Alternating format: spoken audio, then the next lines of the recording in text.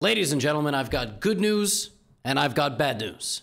The good news is this is a video where I will cover multiple chess games in a match played between Magnus Carlsen and Hikaru Nakamura, which is definitely our favorite matchup.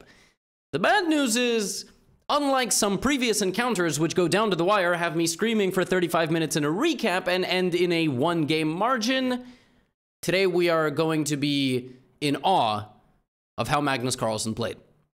This one was slightly less close than some of their other matches, but it was still a titanic back and forth struggle. They played some unbelievable high level chess, but today Magnus came to play.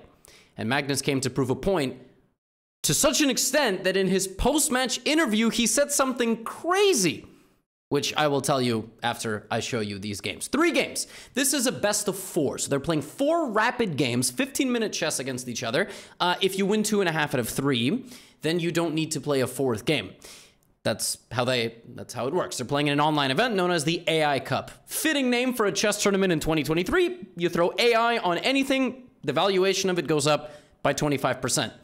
Um, Magnus begins game number 1 with the move knight to f3. And make no mistake, Hikaru has been the closest rival to Magnus Carlsen over the last 3 years. I mean, mostly they play blitz and rapid, but even so, uh, and, and, and a lot of that has been online, but even so, that is the reality.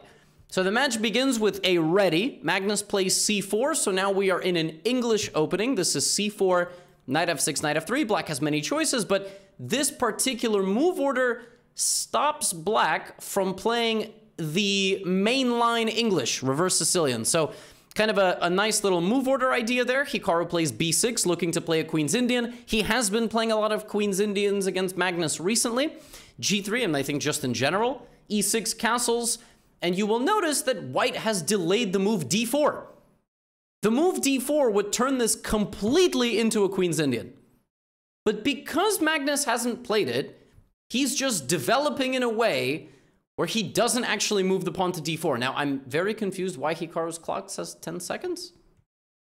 Why, why does Hikaru's clock say 10 seconds? That's very weird. I'm going to refresh now and we are going to go back. And that's not really much of a spoiler because this entire video is hyping up Magnus anyway. That was very weird.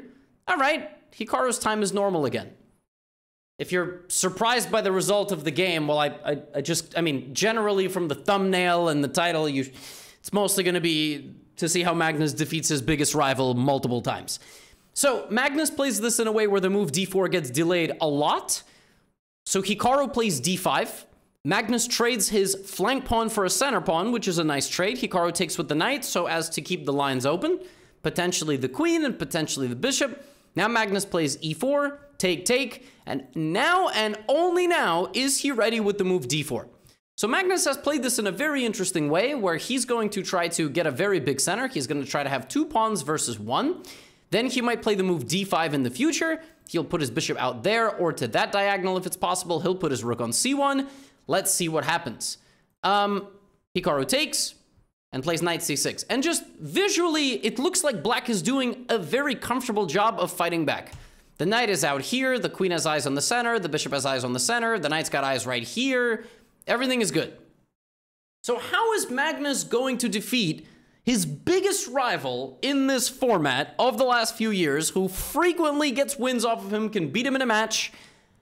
How does Magnus outplay arguably the second best chess player in the world right now. How does that work? Let's watch. Putting his rook on the c-file.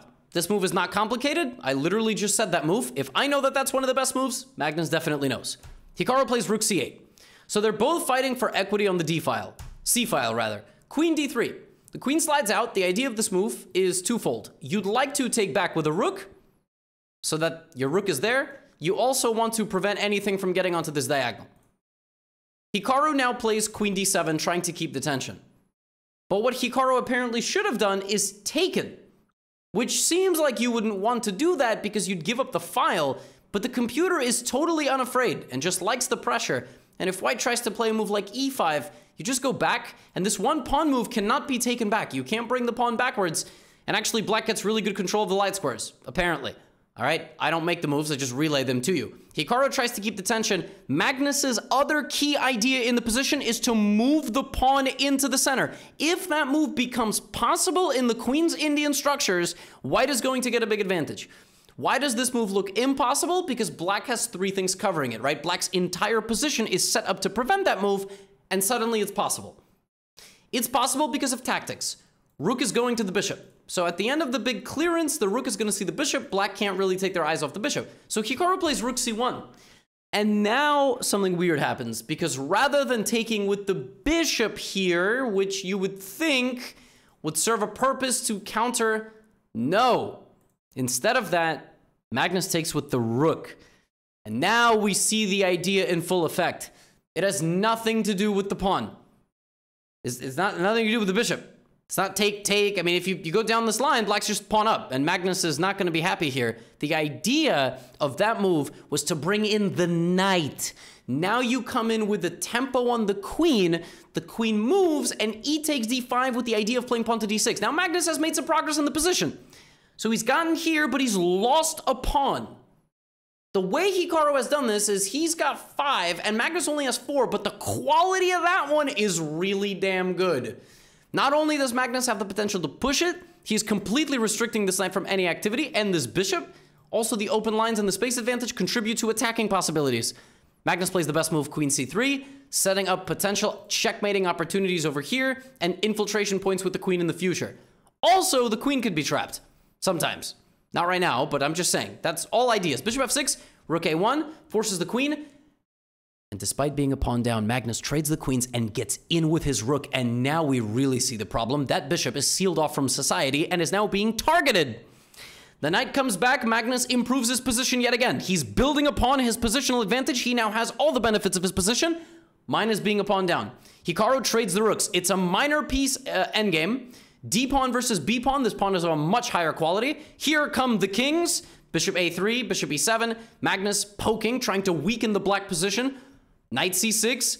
Now it's bishops versus bishop knight. The pawn is two squares away from queening, but it's very, very closely being monitored, and it's a time scramble. Can the best endgame player of all time beat arguably one of the best defensive players of the modern generation? I mean, you're probably looking at two of them right now, but Hikaru is ridiculous at defending these positions. He will do it against everybody in the world.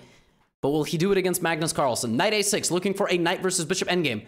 Magnus mobilizing pushing his pawn forward to restrict black's airspace. Hikaru, in this position, makes a very big decision. He plays g6. The risk of that move is after h6, both these pawns are targets for that light squared bishop. If the game ends, it will be because of that cluster. It will be because of that decision. But it's not easy, because if you go here, the white king walks in anyway. So it's a very tough position to defend. Hikaru makes a big decision with 30 seconds on the clock. Bishop f1, g4. Hikaru fights back. The pawns are slowly falling. But instead of bishop f8, apparently Hikaru had to go here. And the point is he had to lose this pawn and go for this pawn. And that's the way he was supposed to fight back. After sustained pressure, suddenly Magnus has isolated this position and he goes here and it's almost impossible to stop this. The only way to try to do it is to play b4, and after bishop a2 check, king e7, and bishop to g8, knight to e6, takes, bishop takes f4, bishop takes f5, bishop takes h6. Hikaru had to be a little bit aggressive, but he goes here. And now in this position, Magnus can go back to a2, but he does it this way. Pawn falls, and I told you the endgame will be decided like this. And I mean, this is the Magnesian school of chess right here. Winning an endgame like this from start to finish, a sustained nastiness, a sustained pressure. And he had it the entire game.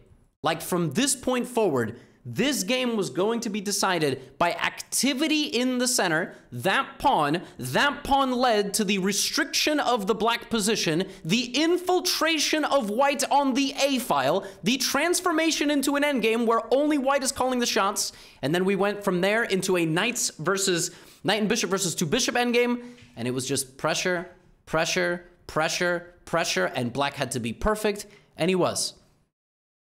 For 43 moves, and on the 44th, he lost. And that's sort of how it goes when you play Magnus. Now, there's one guy that you're going to call on to beat Magnus in a must-win situation, it might be Hikaru. Hikaru opens game two with an offbeat Jobava London style gambit. He, he plays this in one of these like odd lines where white might lose a center pawn, but white's going to get crazy activity and it's going to challenge Magnus's theoretical knowledge. Magnus takes on e4 with the knight, and now Hikaru plays a move I've never seen in my life. Instead of taking and then taking, which is a line I've actually played myself, queen a5, you can play queen d2. If queen c5, there's like knight e2, and there's obscure gambit lines here all over the place. Instead of that, Hikaru gets his center pawn taken and goes here. This looks like 300 elo chess. Now, you will also notice he spent a lot of time. Spent a lot of time. He spent like 90 seconds on this. I don't know if it was a bluff. I don't know what it was. The knight went out to defend against knight c7. Now Hikaru kicked out this knight. And then he took. And then he went here. And then he took the knight trying to damage the structure. Magnus gave a check instead to try to take back. And now Hikaru played this nice idea b4.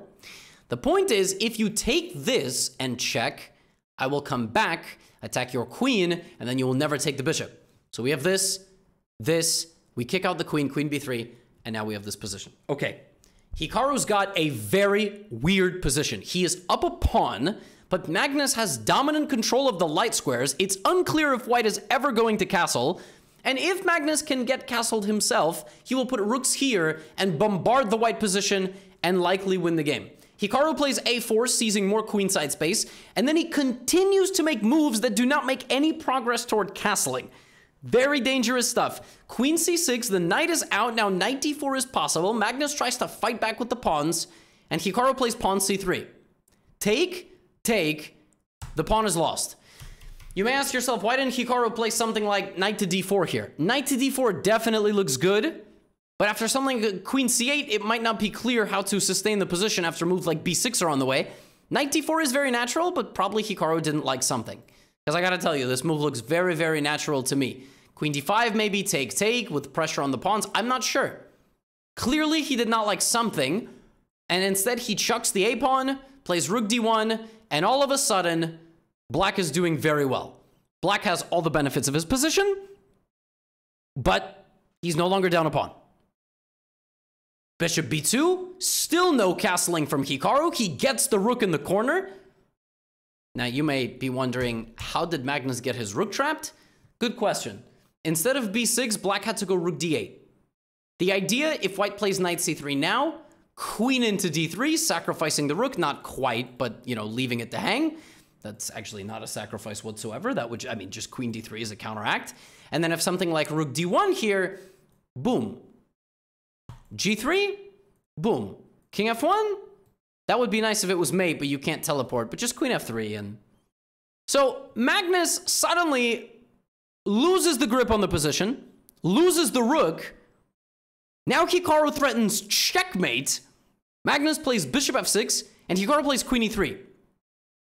So Hikaru still hasn't castled. He also can't castle because it's illegal. Super weird game extremely back and forth. Now Hikaru goes from slightly better maybe in the opening to equal to potentially worse for a couple of moves.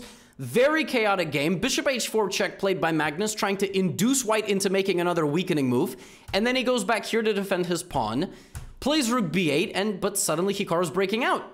King f2. Nothing can get into the second rank. Bishop c2 looks really good, but immediately blunders this, which is a fork. We have king f2. The queen gets in closer. Rook c1, and all of a sudden Hikaru's winning. Bishop c2, Hikaru's winning. It's completely winning here. Plays queen d2, pinning the bishop to the queen.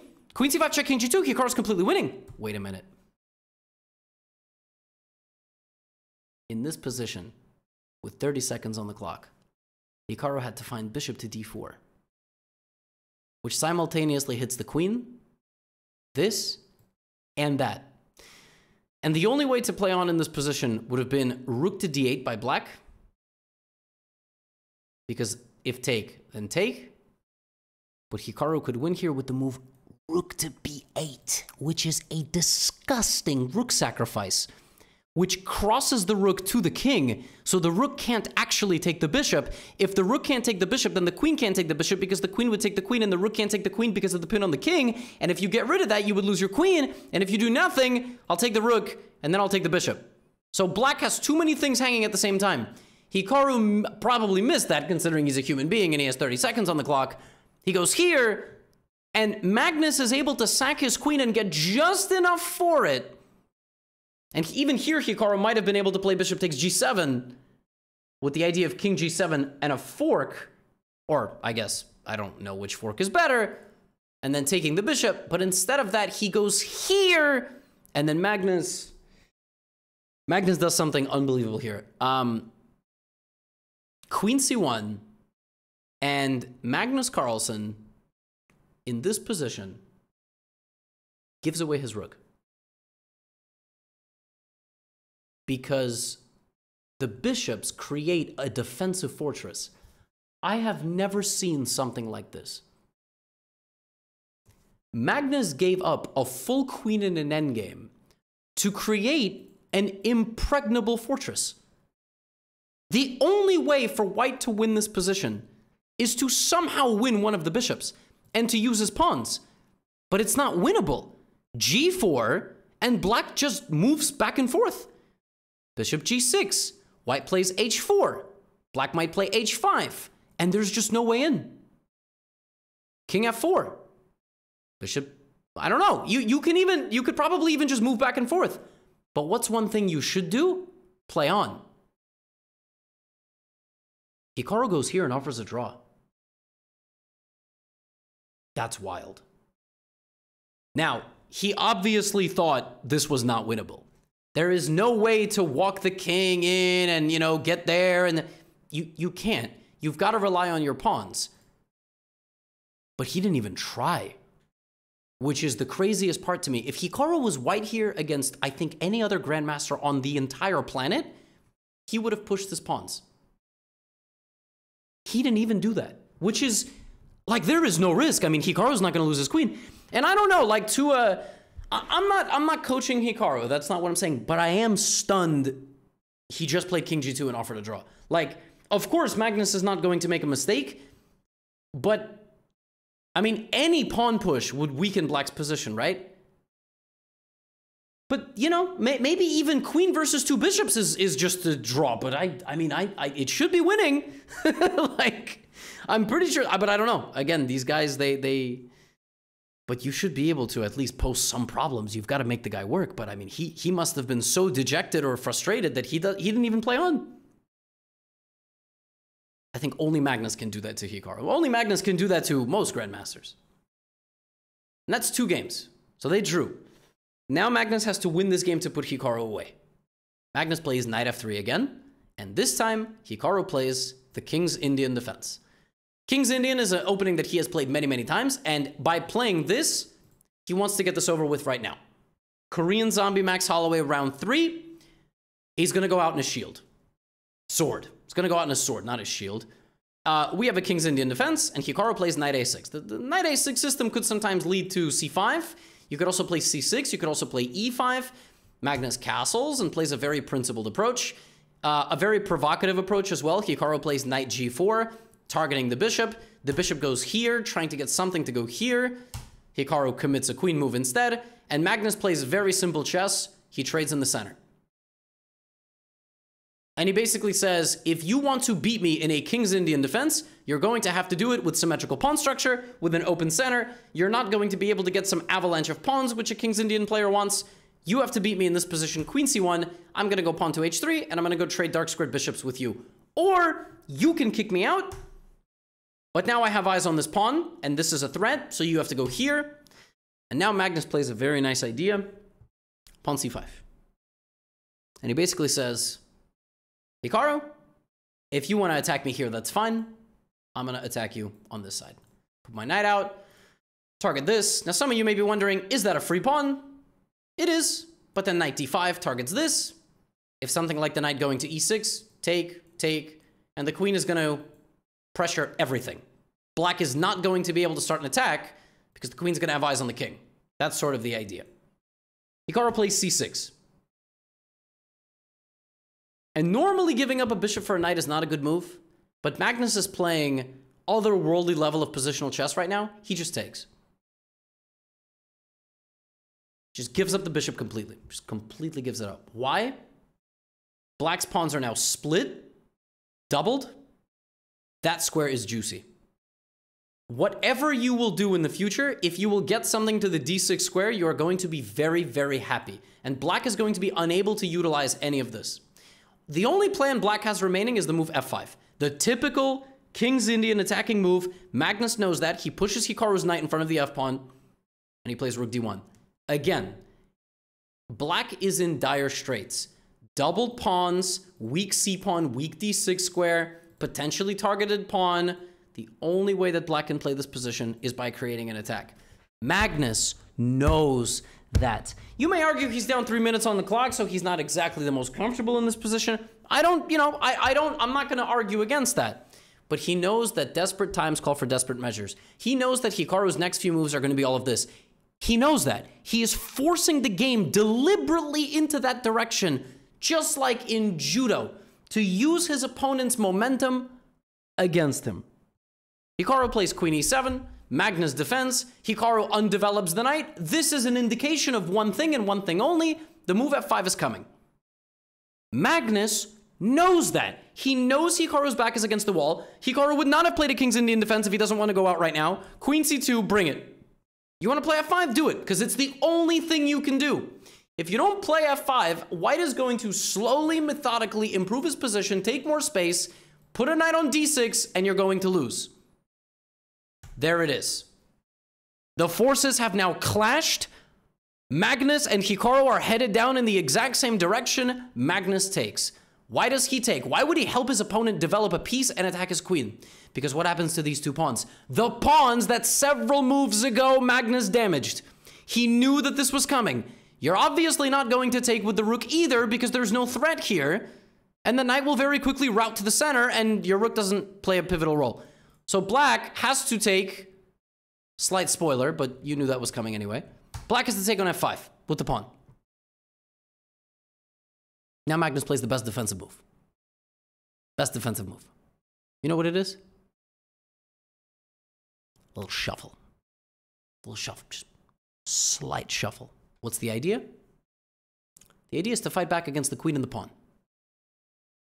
So for example, if black wanted to play knight f6, you bring a second rook, you put the rook on d6. That's it. It, it. It's just a matter of I'm fighting here, and this rook would have had no role in the game because that rook was there. I moved that rook there a little while ago. Little while ago, with a constant pressure over here. And now, very calmly, I move it back. Hikaru, come get some. Queen f7, sidestepping, bringing my second rook. Hikaru still, obviously, mobilizing. Magnus reroutes the knight. He's going to put the knight in front of the g file and pressure that pawn and that pawn and maybe go there in the future to take something. Knight to g3. The knight doesn't need to go there. It's got no future on any of these squares. So let's bring it here. Bishop e6, knight g3. At some point, Hikaru's to have to jump forward. King h8. He unpins himself, but it's the wrong move. Apparently, it's the wrong move. Knight h4. This is a fork, but then knight g6 check. So rook f8, safeguarding the pawn. And look at Mac, just very, look, just very calm. One move at a time, one move at a time. Literally, side, sliding the rook over, bringing the second rook, rerouting the knight, one move at a time, rerouting that knight, to pressure f5 and f4 knight g6 check teaming up with the queen. Black goes here to defend, the bishop slides out of the way to reroute to the c3 square and maybe that diagonal just in the future with pressure on this. Here comes f4. Magnus has been waiting for this move to arrive for a long time. He knew Hikaru was going to attack him the whole game. Now he gets to g6. Hikaru is ready to sacrifice the rook on f8. You sacrifice the rook on f8, black immediately counters. Magnus just brings both knights there. That's why he did all of that. Knight h4, knight h4. Now the knights are knocking on the door. multiple pieces will be stripped from the attack. Hikaru moves the bishop back, Magnus picks up the rook, Hikaru takes back, and now the best move of the game, shutting it down absolutely, totally, completely, pawn to g4. That's it. If these pawns can't break loose and open the position, black's not getting any attack. Black is not getting in here. You can take en passant, but keep in mind that when you do that, you activate Magnus's bishop, and then you activate the G file. You activate the open G file. Hikaru plays bishop a2. Magnus centralizes his queen to now start targeting Hikaru. The king is under brutal attack. The knight goes to the middle. The rook opens up and goes to f3 and g3 potentially. Knight f6 check. Another piece has been removed from the attack. The queen takes the rook, but queen e7 check, queen d6 check, queen d7 check, and in this position Hikaru resigned because the only place the king can go, you are running into a knight check and your queen is lost. And Hikaru beat, yeah, Magnus beat Hikaru two and a half out of three games today. Dominant performance in the first game, winning in pure Magnesian style, a positional squeeze from start to finish, utilizing one advanced pawn and a slight misconfiguration of the Black Army to slowly, methodically, for 40 moves, turn the screw until it couldn't go anymore and beating Hikaru in an opposite in a minor piece endgame. In the third game, obviously desperate times call for desperate measures. It was a King's Indian defense. Magnus picked apart the black position effortlessly, anticipating the attack, shutting it down completely, and attacking on his own on the G file. Black tried to attack. The momentum was brutally used against him. And that second game, creating one of the most obscure defensive cocoons I've ever seen in my life. Today, Magnus was on another level, and I told you in the beginning of this recap, he gave an interview after where they asked him about his rivals. And paraphrasing, Magnus basically said, in the top tier of players in the world, it's Magnus, and there are no rivals. And then he said Hikaru is basically as close of a rival to him as possible. And that's a pretty cold thing to say. You know, I it's one thing as us spectators. I'm a spectator more than I'm, I'm an enjoyer of chess. I relay it to you, and you enjoy it a lot because I'm at a strong enough level where I can break down the moves by the best players in the world for you to understand and why they're relevant, why the players are relevant, their personalities, the drama of the of the chess world, and all that. That's why you know that's I, I am that uh, connection to you and the uh, for you in the chess world. Um, here's my question: Is it better to just have one dominant guy at the top of chess and completely throw out all other candidates as potential rivals? Or would you prefer that we had a degree of uncertainty every time Magnus and Hikaru played each other? Or Magnus than anybody, but if there's one man on the planet in most formats that you think could get a game off Magnus at any given moment at, right now, it's, it's, it's Hikaru. In classical chess, 90 minute chess, three hour, four hour chess, I don't know. It might be Hikaru, it might be Fabiano Caruana. I'm not exactly sure. It could be Ding Liren, although he's not playing a lot of tournaments. I prefer